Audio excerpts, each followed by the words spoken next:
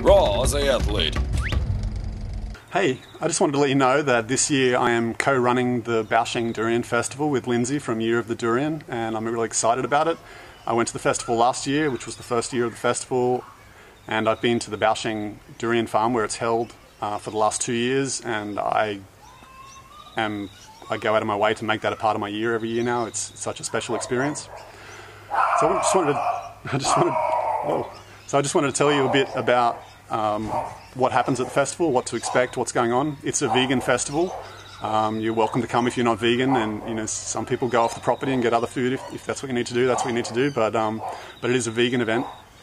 We only serve vegan food at the festival, and most of it is is fruit and um, but there's vegetables and and there are some cooking classes also.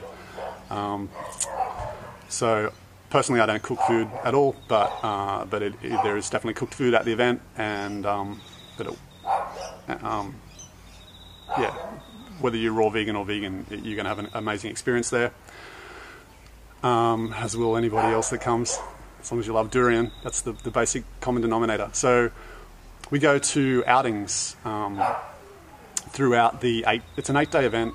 Um, the basic cost is 700 US dollars for the whole time, including accommodation, food, and and and uh, a lot of the outings. Some of the outings have extra costs, um, and that's just the way it is because not everybody goes on them. So we didn't want to charge every attendee for those events if, if not everyone can go. So the there is an outing to Monkey Beach, which is a beautiful beach. There are monkeys on the way. It's in it's in a national park. It's a remarkable, um, just beautiful little place to, to get away. We take Durian down to the beach and just um, enjoy you know a good half a day down there, playing in the sun and the water and, and eating our favourite fruits, and uh, and enjoying each other's company. We get uh, we do a hike up Penang Hill, which is a huge um, jungle hike so just uh, it's kind of like half a day's walking, um, a little bit less than half a day's walking, and uh, that's that's a remarkable experience too. Beautiful views and just experiencing the going through the jungle, seeing lots of farms.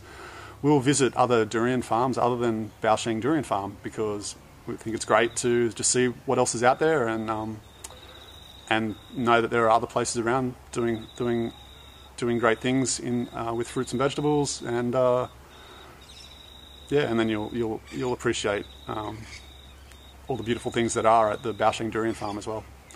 The we'll go to a tropical fruit farm and get a guided tour through there and, and have a buffet, fruit buffet afterwards. That's a that's a fantastic experience. Um, there'll be fitness classes, uh, fitness activities, sorry, scheduled um, daily, mostly in the mornings. But they'll prob- I think there's also some. The schedule's still uh, in its last stages of getting finalised, but I think there's afternoon, maybe afternoon runs as well. Uh, so there's running, there's high, high uh, HIIT classes, high intensity interval training classes. There is yoga every day. Um, so those those things appeal to most people, I think. There is there are daily talks. Um, there are this year, last year we had a lot of durian talks, and that was great. Um, but we want to get a bit more diversity into the event this year, and we've got we've got local people, we've got local farmers coming in talking about um, their, their farms and their experiences, and we've got local someone local coming and talking about like a, a, local, a local person that runs kind of uh, in, in the tourism industry is going to come and talk about the culture of Penang and, and a bit about Penang.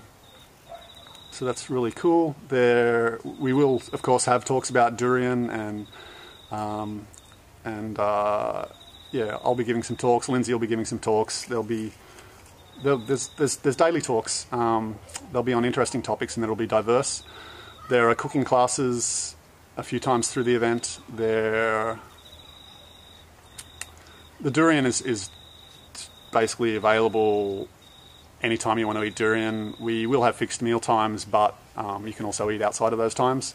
There'll always be food available the accommodation is um, there are villas which are kind of nicer and a little bit more expensive, um, or there is the basic accommodation that you get for the 700 US dollars for the eight days, which is um, there are three people per room. Uh, last year we had four people per room, and you can certainly fit a lot more than that in the room. The rooms are, you know, have a, a good amount of space in them.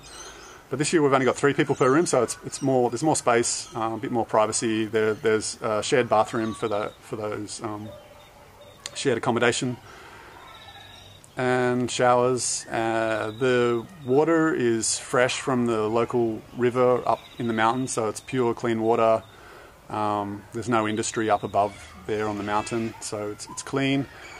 The um, we'll have unlimited durian, but we also have unlimited, basically like we have we get whatever fruit is in season, but there'll be mangoes, there'll be watermelon, there'll be tons and tons of coconuts, more coconuts than you've probably ever seen in your life and they're delicious. the coconuts and, and, other fruit on Penang, Malaysia, are amazing because they're they're um, you know most most fruit there is tree ripened. Uh, people there understand fruit, so they they eat it themselves. So they, they want it to taste good. They know what tastes good and what doesn't taste good. So um, yeah, so it's nice to go to a country where they actually appreciate and understand fruit and and serve fruit that's um, that tastes amazing. So there'll be papayas and um, there'll be bananas, varieties of banana you probably never had before. There'll, there should be some jackfruit and some chompedak. Early season chompedak is probably going to be available. Um, we may be able to get some rollinias or birba, which is the Spanish word for for rollinia. Uh, what else? Well, there is um, we're going to go on some other outings to to um, we're going to go on some other outings to like uh, there's there's a temple that I have not been to, um, but Lindsay's organising that one, and she's been there, and it, it's beautiful, remarkably beautiful place. So we'll go check that out. Um, basically there's things happening every day. It's all optional. If you want to just chill out and eat durian, that's fine. If you want to come along to the outings, that's fantastic.